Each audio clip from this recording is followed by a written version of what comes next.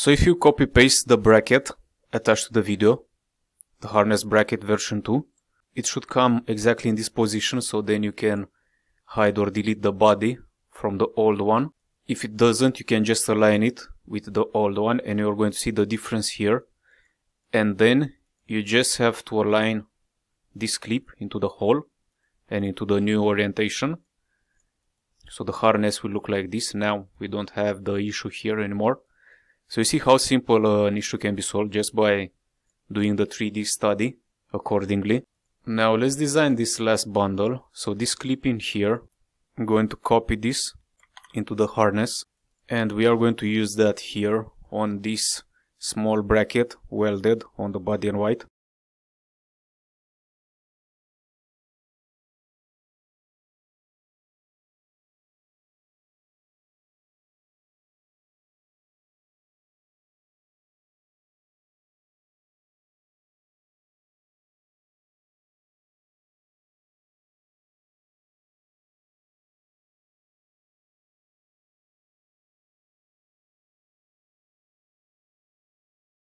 And in here we design a new branch. So if you remember we said that we can use the thicker corrugated tube on this which is 11.7 so let's make this 12 and let's design it from this clip to this clip here. So this is going to be the harness going from the gearbox to the body in white Let's add some slack to this part.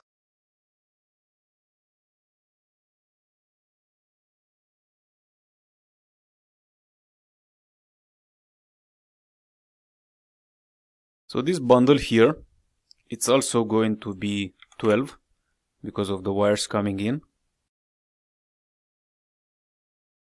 Probably this one is to, let's just give a very very small slack here.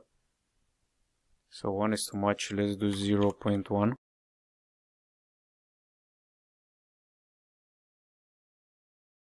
Okay, so this is probably because we have the same bundle and it's bending here like this. But this is not a problem because it's the corrugated tube that makes it that thick. So if we do here 1.4, okay, so we're okay now. Even 1.4 should be okay. And now you can also open the underbody grommet. So if you copy this into the harness, so into the gearbox harness product, and you need to align this like this with the hole in the body in white here. And this is how this is aligned. In fact, let me make a quick section.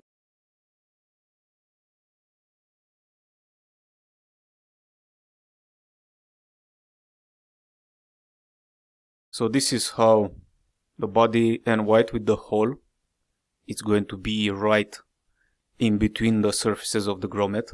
So you're going to see that.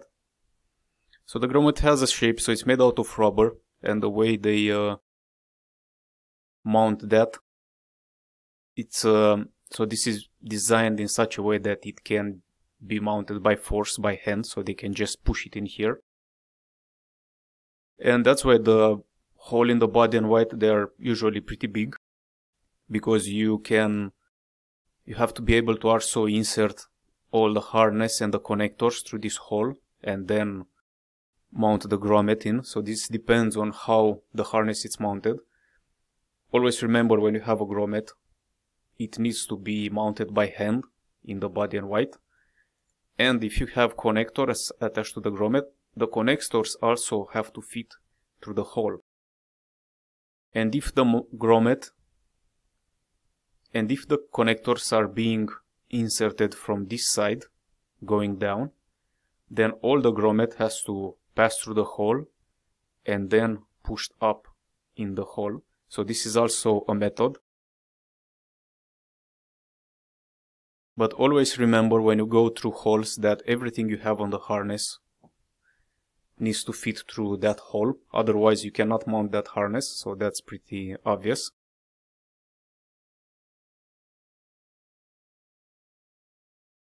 and you would like to check the company requirements that they have for grommet mounting.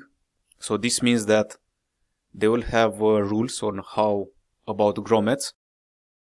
And one of the rules, for example, is if your connector is 20 millimeters wide, let's say, then the hole in the body in white needs to be 30. So it needs to have uh, 5 millimeters on each side, or it needs to be 40. It needs to have 10 millimeters on each side. So this is a rule that companies might have, because when a hole like this is done on the body in white, the body in white designer is going to do a hole with the diameter that you give it to him. So he's not going to do it for you. He, he only knows that he has to do a hole for the harness for your stuff, but you are the one that is going to tell him how much that hole is going to be. So that needs to be perfect, it needs to be correct, because if it's not done correctly and you cannot insert the harness, then there is a big problem over there. So you need to make sure that everything that has to fit through that hole is going to fit. So we are going to talk about this in a separate video about grommet. And now in here, I'm going to design another branch and go from this connector to the grommet. But first I would like to add the points on the grommet, so it's one point here. And I will add a point to the other side of the grommet.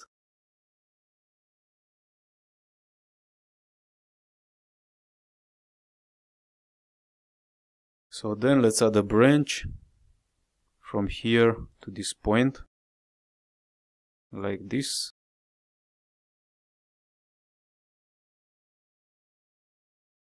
This can be 1.4 okay so it's the same problem that Catia does. You need to add just a little slack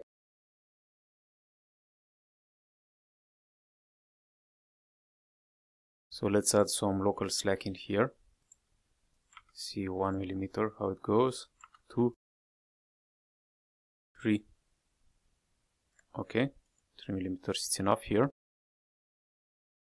And this portion between this clip and this clip is going to be dynamic because the powertrain gearbox and engine they are going to be dynamic relative to the body in white so there is going to be movement in between them and that movement is uh, given by the suspension in the vehicle. So you need the suspension moves. You need, you know how the suspension moves in the car. So that movement, so that movement is between the powertrain and the body in white. So when you have something like this, you need to remember to ask from the powertrain people. They will have to give you all the movement positions for the powertrain, like the gearbox. So you'll have to give them a clip the last clip, this one, in position, and they will attach your clip to their model when they do the simulation of the movement. So then they will give you back the simulated gearbox with a clip. So you'll have this clip in several positions. So sometimes you might have 10 positions because this is not a back and forward movement like we had on the seats. This is a movement in all positions. So you need to design several pieces of harness in all positions and we are going to do that in the separate video about uh, dynamics. And in there you're going to have a model like uh, simulated model with the clip and everything. So we are going to leave it like this for now. And then from the previous project that we did we are going to use the inline B and inline BB inline connector pair. So you can copy both of those into this harness here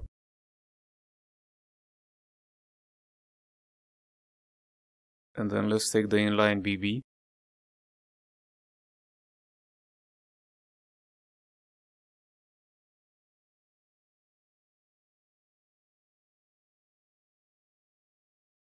So this is going to belong to the next harness.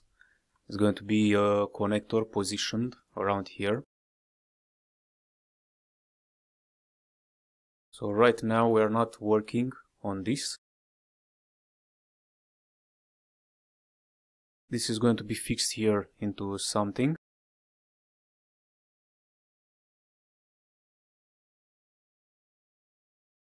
So let's do some electrical assembly design.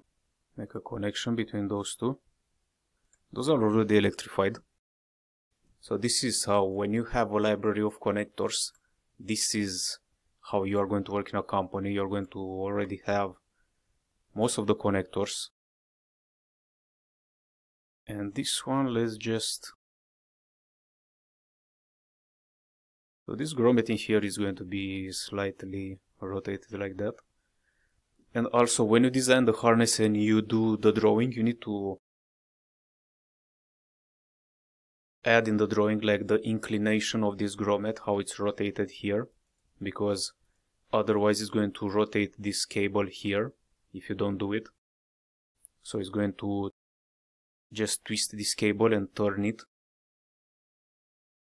So you want to make sure that relative to the clip or to something else, you just show the inclination of this grommet.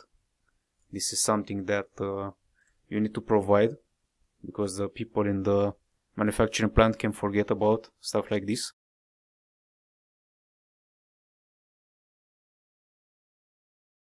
And here is another branch from this grommet here.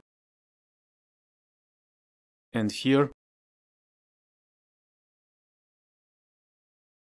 Let's try and continue this route. Okay. adapter. Let's go to the connector. So in here, this uh, blue connector, it's the plug connector. So it has uh, pins inside the housing. This one has the pins outside. This one has the pins also inside the housing, but uh, they can be seen, so you can put the finger inside. So that's why I added this connector on the side of uh, the gearbox harness the gearbox harness doesn't come from any power source. So if you disconnect those on the gearbox harness size harness side, you will not have any electricity, but the electricity will come from this other side, from the cabin harness. So that's why this connector has to be where the pins are protected inside so they cannot be touched. Or any other type of connector where the pins are protected like that. This is the correct way to do this. And here Let's add some slack here. So we need to add slack until this piece of bundle goes inside the grommet.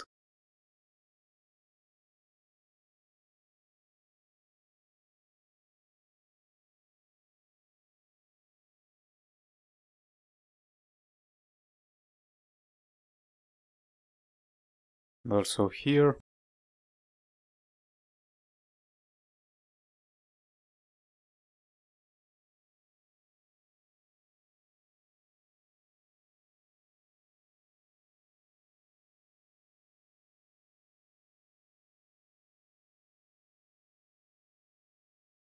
So in here, we added slack. Seems like this wire here goes pretty well inside the grommet. Let's do just a small modification. Okay, let's update this. So you see, you can check with the sectioning tool how well this uh, stays inside.